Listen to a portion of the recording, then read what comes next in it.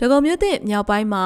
တီနေစေငကယုံဖျားပြိုကျမှုဖြစ်ပွားပြီးလူပိမိနေကြောင်းသတင်းရရှိတဲ့အတွက်မိသက်ဌာနကကုညီကယ်ဆယ်ရေးတွေပြုလုပ်ခဲ့ကြောင်းမြန်မာနိုင်ငံမိသက်တပ်ဖွဲ့ရဲ့ကနဦးသတင်းထုတ်ပြန်ချက်အရသိရပါဗျ။ဩဂုတ်25ရက်မနက်10:30မိနစ်30ခန်းမှာရန်ကုန်တိုင်းဒေသကြီးဒဂုံမြို့သစ်မြောက်ပိုင်းမြို့နယ်16ရက်ကွက်သဲအင်းကိုဖျားလန်းတိုးကြောင်ကလေးဘူရာယုံအနီးကျောင်းတိုင်ဝင်းအတွင်းမှာရှိတဲ့တီနေစဲငကယုံဖျားပြိုကျမှုဖြစ်ပွားပြီးလူပိမိနေမှု ဖြစ်ပွားကြောင်းသတင်းရတဲ့အတွက်မြန်မာနိုင်ငံမိသက်တပ်ဖွဲ့ဌာနချုပ်ကကုညီကယ်ဆယ်ရေးတွေဆောင်ရွက်လျက်ရှိရလို့သိရပါဗျ။ ဒီဖြစ်စဉ်ကိုရှောက်ဖွေကယ်ဆယ်ရေးရင်တစီအုပ်ချုပ်မှုရင်တစီရပီတာရင်တစီဒဂုံမြို့သစ်တောင်ပိုင်းမြို့နယ်မိသက်စခန်းကရှောက်ဖွေကယ်ဆယ်ရေးရင်တစီဒဂုံမြို့သစ်မြောက်ပိုင်းမြို့နယ်မိသက်စခန်းကမိသက်ရင်တစီ